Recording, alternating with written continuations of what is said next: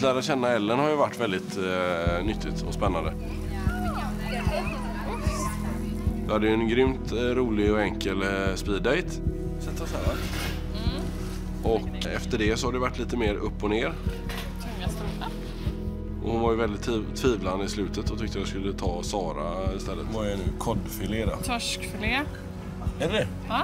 Säker? Jag vet egentligen inte varför det blev att jag sa till honom att han skulle välja Sara och var jättenegativ och bara såg massa fel hela tiden.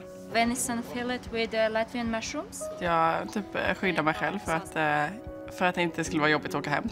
Salmon, eller vad heter den? Det är väl lax eller? Ja. Men eh, nu börjar jag inte tänka så längre och då... Nu vet jag inga fel på Jonathan. Ska vi vänta över middagen med att bestämma om du får flytta hem på en liten prov? eh? Har du bestämt dig väger tillräckligt mycket för och nackdelar nu. Det jobbiga är att jag hittar inga nackdelar. inte? Nej, Bra. Det var kul att höra. jag tycker det känns väldigt bra.